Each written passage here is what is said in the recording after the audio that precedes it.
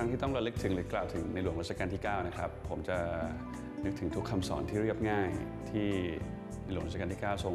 มอบให้ไว้กับพวกเราพี่น้องชาวไทยนะครับ แล้วก็ยังมั่นใจเหลือเกินว่าถ้าเรานำคำสอนเหล่านี้มาปรับใช้ในทุกๆวันได้เนี่ย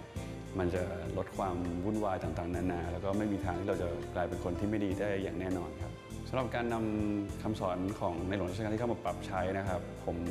สังเกตเห็นตั้งแต่ผมยังเด็ก ๆ ว่าในหลวงรัชกาลที่9เนี่ยทรงรักในงานที่ทำแล้วก็รักในการที่จะดูแลคนรอบๆนะครับนั้นเนี่ยสิ่งเดียวที่ผมน่าจะทำได้และยังคงทำต่อไปก็คือ เราก็จะออกมาทำงานด้วยความตั้งใจรับผิดชอบในขอบข่ายงานที่เราทำให้ดีที่สุดในทุกวันนะครับ ถ้าจะทำเพลงจะร้องเพลง จะพาคนฟังจะโน้มน้าวอารมณ์เข้าไปทางไหนเนี่ยก็ควรจะพาไปสู่เส้นทางที่ดีไปสู่ประตูที่ถูกต้องครับผม